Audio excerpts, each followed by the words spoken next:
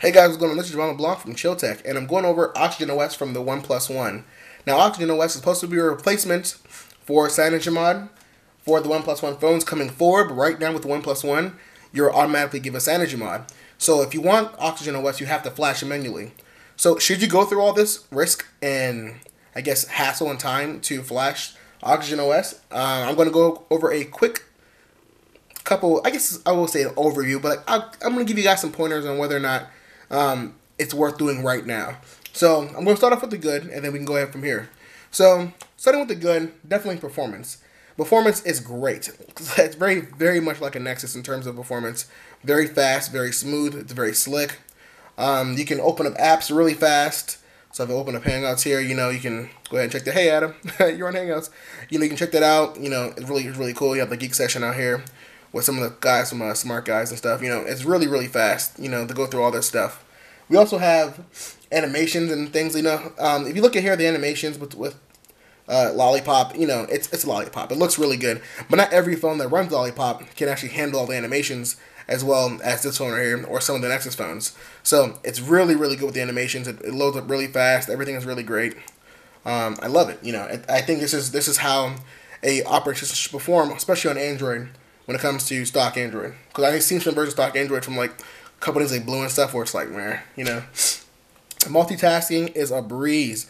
It's much, much smoother. Even on my Nexus 5 or my Nexus 6, this is definitely one of the better ways to multitask. You know, I love it, you know, to see how quick it is to go through here. They also added a kill switch. Um, so at the top here, you can exit all your notifications at one time. I definitely feel like that's a good, handy feature that's implemented not necessarily on stock Android, but it added to stock Android so it makes it, you know, really, really cool. They also pre-installed all the Google services, so go ahead and OnePlus for doing that. I know San CyanogenMod is trying to get away from Google services, but OnePlus and Oxygen OS is embracing it. Thank you very much for bringing all the Google services so it saves me the downloads because I use them all practically. Um, it's a very lightweight OS, besides all the Google services, because you need Google services to, for it to be really Android. Let's be, let's be real now. You can't have Android without Google services. Well, you can, but it's not fun. So, you know, the, other than that, they kept it very lightweight. There's not many additional add-ons. They added a few things um, that I'm sure you guys already seen on YouTube. Like they added the ability to like change where things go um, on your like quick launcher and anything like that. I mean, it's it's cool. I'm not gonna really change it that much. You know, they did added some cool things like uh, what's it? What is it called? Double wake to lock. No, that's not a good thing. Here, it's double tap to wake, so I can tap the device twice and it wakes up automatically. Really cool. I love it.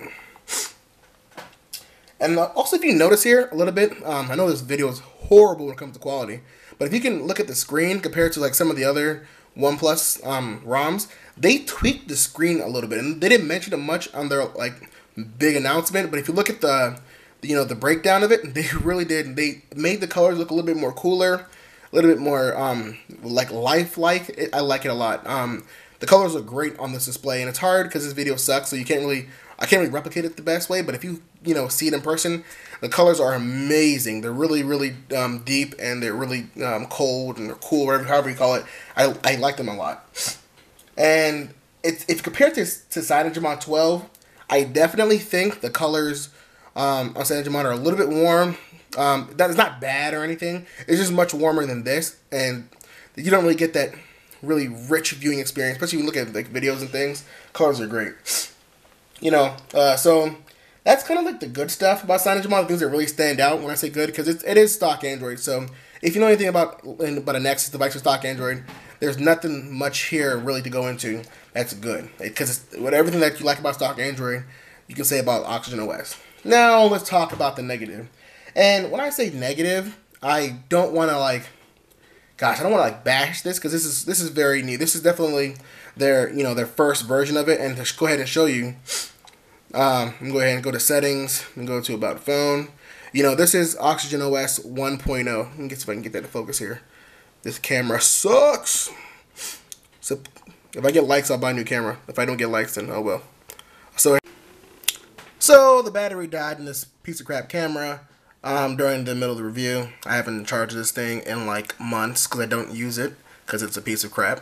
But um, yeah. So continuing where I was, Oxygen OS 1.0.0. So, you know, given the fact that this is their first attempt, I don't want you to take the negatives. I want you to take them to heart. Like I want you to really like know that this is our these are negatives, but don't feel like this is like permanently negative because over time, I promise OnePlus and Oxygen OS team will fix a lot of these issues. But right now, I'm talking about whether you should flash this right now or not. So, continuing on the negative, and the first thing I want to talk about is the camera.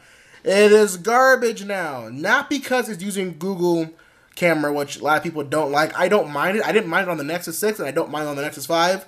But phones that are not optimized with the Google camera just don't take good pictures no matter what. Like you can do whatever and it just does not take a good picture.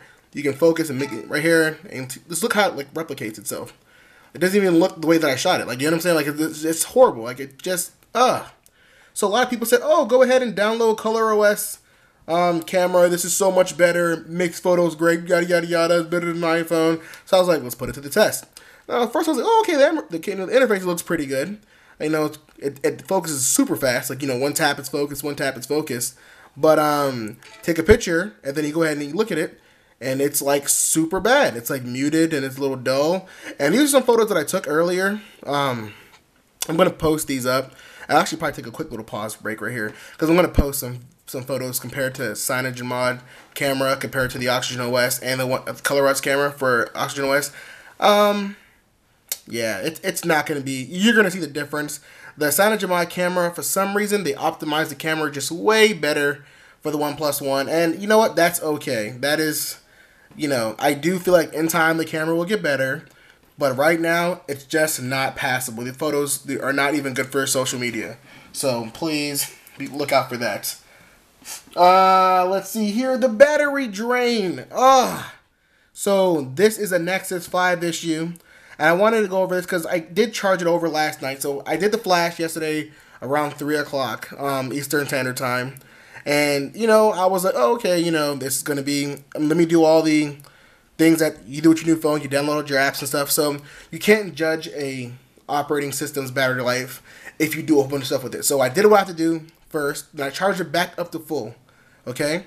And I just, you know, went through the entire day today because I had to play um, for church, and I did my play, and it, I took out the phone with the charger around like eleven o'clock ish, you know, and it went to about what is that? I want to say around like eight. It's about maybe like around eight o'clock, and then it was already down to like six percent, and I was like, "What the heck? What did I do today?" And I was like, "Oh, I barely made it to you know three screen uh, three hours of screen on time." When I checked it actually the first time, it was like two hours and 50 minutes. This is unacceptable for a OnePlus phone. I'm used to getting around anywhere to four to six hours screen on time.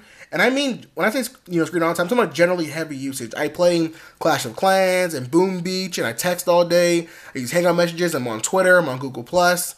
I do a lot of things with my phone throughout the day, and I take pictures and things like that. So I don't expect my phone to die in the middle of the day uh, usually at all, especially with the OnePlus. Since I had the One One, that's the main reason why I don't even use the Nexus 6 anymore because I want my phone to last me the entire day. So when I wake up in the morning, I still have battery life left, and I can choose choose to charge it if I want to or not. So with that four to six hours of screen on time, I'm generally getting 24 to 40 hours of overall battery usage on this phone. With Oxygen OS, I'm getting around 9 to 15 hours and the best screen on time I've gotten, which was yesterday, which was three hours and five minutes, and that used it died around like nine hours. So um, it's just unacceptable. The battery life is not good and it's not optimized. Now I don't know if this is because of the battery leak from the Nexus phones. Um, that's because this is built. Yeah, so the battery died. Sorry guys. Um, uh, this this camera is really bad. I'm going to buy a new one. I promise. This won't happen again. Well, if, well, if it happens again, well, you won't know. But uh, uh, sorry, my allergies are killing me today. keep sniffling. I hate springtime. You know, I love springtime weather, but I hate springtime as a as a whatever. Anyway, so like I said, this is Android 5.0.2. So this has a lot of issues with it. I mean, it, you know, if you remember back when the Nexus 5 was launched and the Nexus 4 um, for Lollipop, they had this like horrendous battery drain. That was fixed in 5.1. this is not 5.1, obviously. So we're gonna have to wait until that 5.1 version of Oxygen OS comes out to fix that. So for now, battery optimization is garbage. the final thing I want to go over is audio. Audio is horrendous. And when I say horrendous, I don't mean if you plug in headphones, it sounds bad, or if you listen to the audio off the um, the bottom firing stereo speakers, they're bad. No, I'm talking about input audio from like a car jack or something like that, or Bluetooth. It's not the same as the CyanogenMod drivers, the FX drivers, or even the um, what was it, the OnePlus One's MaxxAudio drivers, or Sony phones have have their audio drivers. They give you that really rich bass. Even iPhones have a really good driver built in for the audio output. This does not have it. Um, the volumes can get loud, but they're not necessarily c- clear or like crisp, and they don't have that, like I said, that really rich bass. I miss that a lot, and I was going to like sideload or what was it, um, MaxxAudio. But I was just like, why did why did why did why did I have to do all this craziness? Won't take us all I'm doing, but why do I have to do all this craziness to get this device to just sound good? You know, this is something that I feel like if you're coming over from CyanogenMod 11s or if you if you're using a Cyanogen Mod 12 nightly, look. Bottom line, my conclusion is don't upgrade to Oxygen OS. I love it. Don't get me wrong. I love Oxygen OS. I feel like once the bugs get you know figured out, this this will be my number one driver for the OnePlus One, mainly because OnePlus makes the the OS. I like to use the phone's system that's made for it. I just want it to be, you know, unified. But right now, unification is not working out for them.